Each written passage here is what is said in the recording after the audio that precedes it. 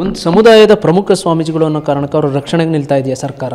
ಅಥವಾ opposition party ಕೂಡ ಪ್ರಶ್ನೆ ಮಾಡ್ತಾ ಇಲ್ಲ. ಯಾವುದೇ ರಾಜಕೀಯ ನಾಯಕರುಗಳು ಜನಸಾಮಾನ್ಯರ ಸೇವೆ ಮಾಡ್ತೀವಿ ಅಂತ ಅನ್ನೋ ಹೆಸರುಗಳು ಹೇಳ್ತಕ್ಕಂಥವ್ರು, ಈ ವಿಚಾರದಲ್ಲಿ ಎಲ್ಲೂ ಕೂಡ ತಮ್ಮ ಅಭಿಪ್ರಾಯ ವ್ಯಕ್ತಪಡಿಸ್ತಾ ಇಲ್ಲ. ಒತ್ತಾಯ ಕೂಡ ಮಾಡ್ತಾ ಇಲ್ಲ ಕೇಸಿಗೆ ಸಂಬಂಧ ಈಗ ಈಗಾಗಲೇ ಹೋಮ್ ಮಿನಿಸ್ಟ್ರು ಚೀಫ್ ಮಿನಿಸ್ಟ್ರು ಮಾಜಿ ಮುಖ್ಯಮಂತ್ರಿಗಳೆಲ್ಲ ಸ್ವಾಮಿಗಳ ಪರವಾಗಿ ಸ್ಟೇಟ್ಮೆಂಟ್ ಮಾಡ್ತಾರೆ ನೋ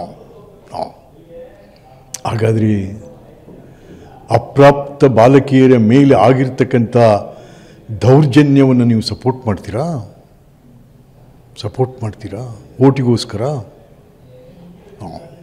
ಅಲ್ಲ. ಯಾಕೆ ವಿರೋಧ ಪಕ್ಷದವ್ರು ಏನು ಮಾಡ್ತಾ ಇದ್ದಾರೆ what mister Siddaramaiah what are you doing as a principal party opposition leader ಯಾಕೆ ನೀವು ಸೊಲ್ಲೆತ್ತಾ ಇಲ್ಲ? ಹಾಗಾದ್ರೆ ಎಲ್ಲರಿಗೂ ಬರೀ ಓಟೇನಾ? ಯಾರು ಮಾನ ಮರ್ಯಾದೆ ಹಾಳಾದರೂ ಪರವಾಗಿಲ್ಲ. ನಾಡು ಕುಸಿದ್ರೂ ಪರವಾಗಿಲ್ಲ? ನಾವು ಒಪ್ಕೊಂಡಿರ್ತಕ್ಕಂಥ ಗುರು ಪರಂಪರೆ ಹಾಳಾದರೂ ಪರವಾಗಿಲ್ಲ ನಿಮಗೆ. ಓಟು ಇದನ್ನು ಜನ ಅಬ್ಸರ್ವ್ ಮಾಡ್ತಾ ಇದ್ದಾರೆ. ನಾಡಿನ ಜನ ಭಾಳ ಹತ್ತಿರದಿಂದ ನೋಡ್ತಾ ಇದ್ದಾರೆ.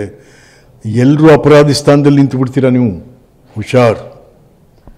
ಈ ಒಂದು ಮುರುಘಾ ಮಠಕ್ಕೆ ಅದರದೇ ಆದಂಥ ಇತಿಹಾಸ ಇದೆ.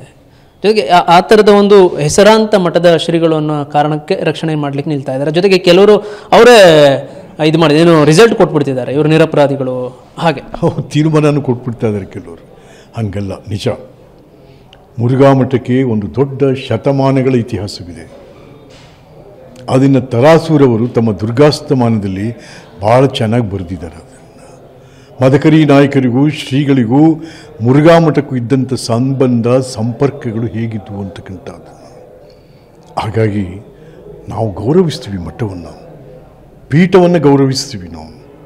ಪೀಠವನ್ನು ಗೌರವಿಸ್ತೀವಿ ಅಪರಾಧಿಗಳನ್ನು ನಾವು ಗೌರವಿಸಲ್ಲ.